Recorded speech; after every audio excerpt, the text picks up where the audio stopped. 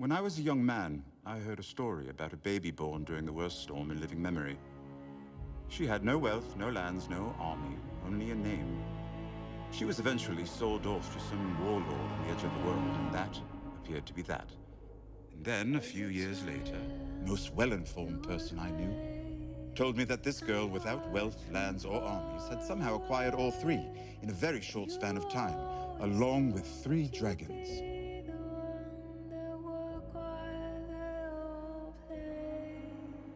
Your reign is over. My reign has just begun. The Seven Kingdoms need someone stronger than Tommen, but gentler than Stannis. A monarch who can intimidate the High Lords and inspire the people.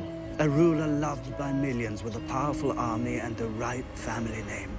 Good luck finding him. Who said anything about him?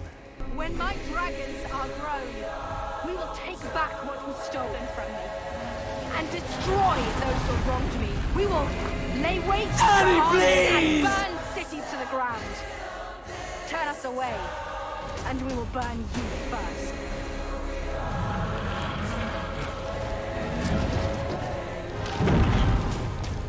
You stand in the presence of Daenerys Stormborn of House Targaryen, rightful heir to Hasilaki the era! throne, protector of the Seven Kingdoms, the mother of dragons, the Khaleesi of the Great Grass Sea, the Unburnt, the breaker of chains.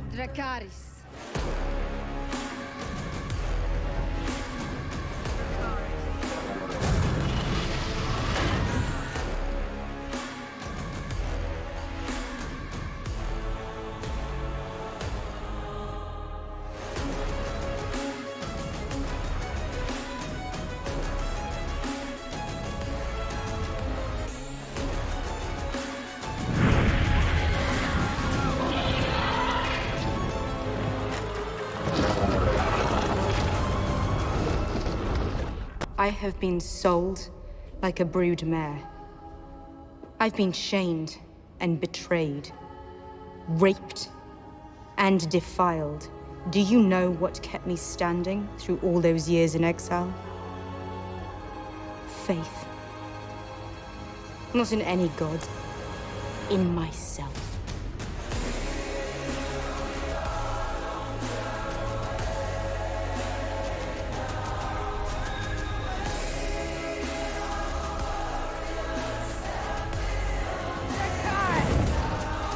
camera.